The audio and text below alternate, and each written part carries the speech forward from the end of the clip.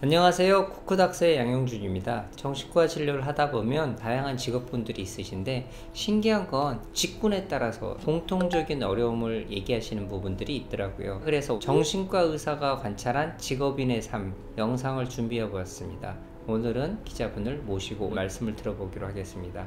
최효아님 반갑습니다. 네, 안녕하세요. 네, 간략하게 소개 어떠실까요? 지금은 현직은 아닌데 정확하게 17년 4개월을 아, 예, 신문과 방송에서 기자로 일을 했고요. 지금 직을 가지고 있다면 주저주저해서 말씀을 네. 못 드리는 내밀한 얘기들도 조금 자유롭게 할 수 있지 않을까 싶어서 아. 재밌을 것 같습니다. 네, 이달의 기자상을 세 번이나 수상하셨더라고요. 10여년 전에 네. 오면산 산사태가 크게 나서 예, 네. 굉장히 많은 피해가 있었는데 네. 탐사 보도를 해보니 네. 분명하게 인재였다라는 거를 취재한 거였죠. 네.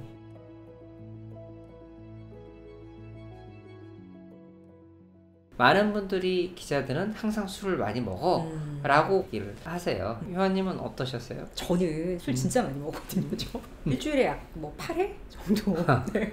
그때 저는 항상 징징거린 거죠. 나는 술을 좋아하지 않는다. 음. 다 내가 이거를 기자를 먹고 살려고 하는 음. 거다. 취재원과의 뭐 관계 때문에 먹는 거다. 뭐 이랬는데 돌이켜 보니까 100% 뻥이에요. 네. 일주일에 8회를 음. 먹으면 알코올 중독인 거죠. 한 번이라도 문제 행동이 일어나면 음. 그건 주의를 해야 된다. 음. 네. 저의 문제 행동은 이제 쉬는 날 하루 종일 잔다는 거였어요. 네. 저는. 20대의 모든 주말은 계속 잠만 잤던 것 같아요. 네. 술을 금요일 날 많이 마시고 음. 일어나 보면은 막 토요일이 다 나가 있고 그러니까 굉장히 극단적인 삶을 살았죠. 그나마 쉬는 주말을 잠만 자는.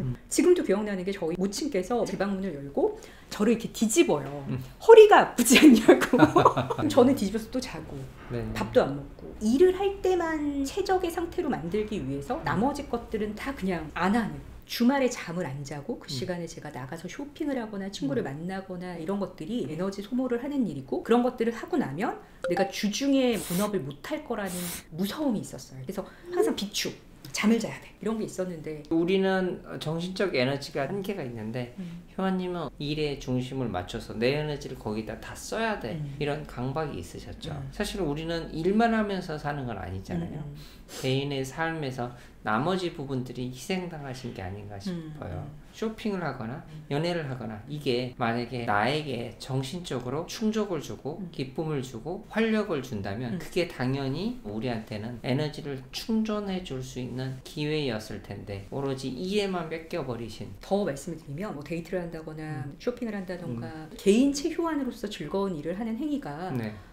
하면 안 된다는 약간 그런 죄의식, 네. 강박 이런 것들이 있었던 것 같아요. 네.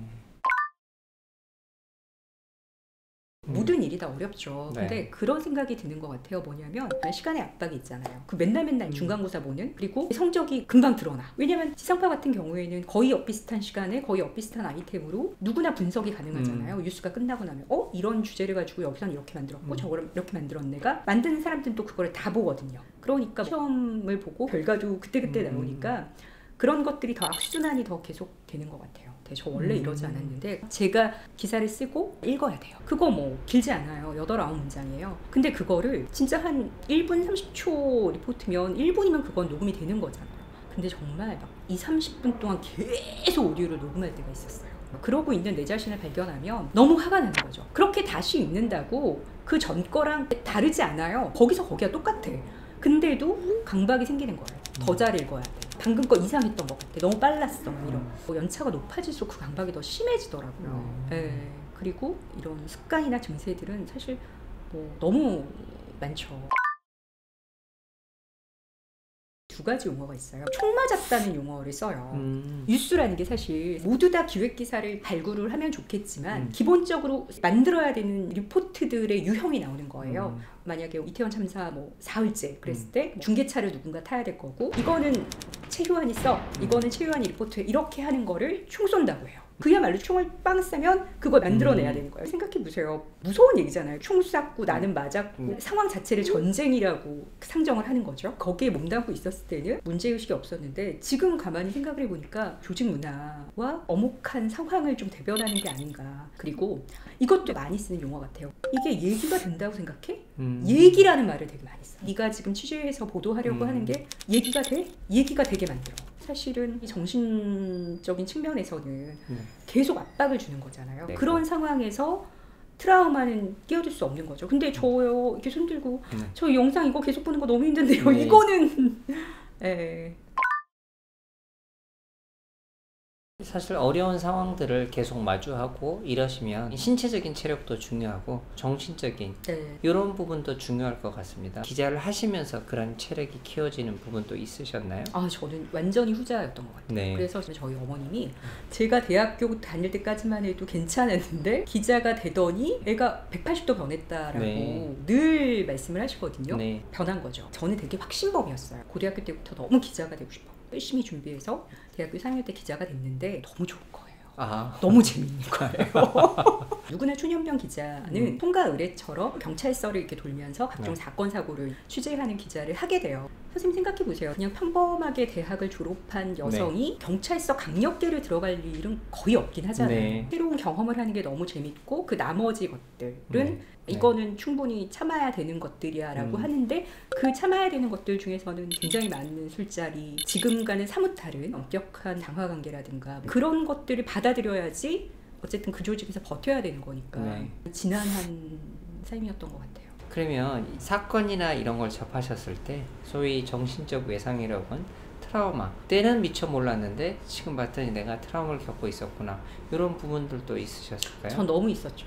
음. 저는 2014년 세월호 때 사회부 기자였기 때문에 그 방송 기자의 참 비애가 뭐냐면 리포트를 만들기 위해서는 영상을 계속 봐야 돼요. 원본을 보고 모자이크를 치는 거니까 음. 세월호 때 제가 굉장한 트라우마였고 그랬었는데 그때는 저는 몰랐죠. 나는 아닐 거라고 생각한 거예요. 왜냐하면 음. 팽목항에서 계속 있었던 네. 다른 기자들도 많은데 네.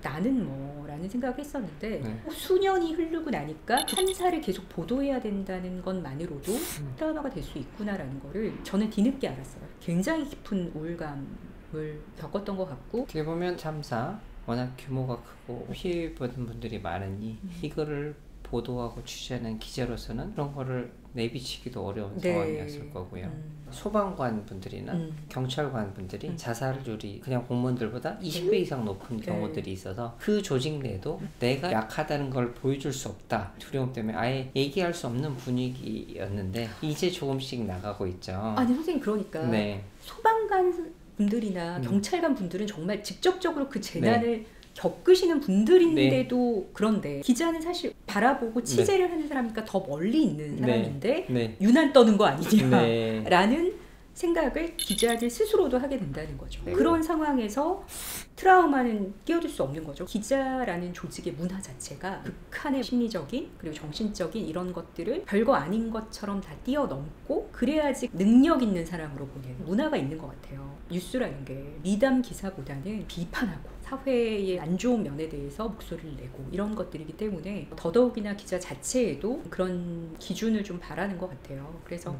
다시 이제 세월호 때 힘듦으로 들어가면 여전히 지금도 그런 생각이 드는 거예요. 음. 야 세월호 때 뭐 현장 가서 팽목항에서 진짜 몇 달 며칠을 취재한 기자들 중에서도 멀쩡한 친구들도 많은데 뭐 그때 그냥 보트 좀 몇 개 한 거 가지고 그렇게 힘들다고 음. 하냐 라는 생각을 남들이 아니라 내가 갖는 음. 기자들이 되게 많을 거라는 생각이 들어요. 저도 그랬고. 네. 오늘은 제가 이 인터뷰를 하고 취재를 당하셨는데 네. 어떠셨는지요? 저는 다음에는 기회가 있으면 일반인이 본 음. 정신과 의사에게 하고 싶은 질문을 좀 하고 싶어요. 계속 네. 얘기하면서 네. 선생님한테 질문하고 싶은 게 있는데 네.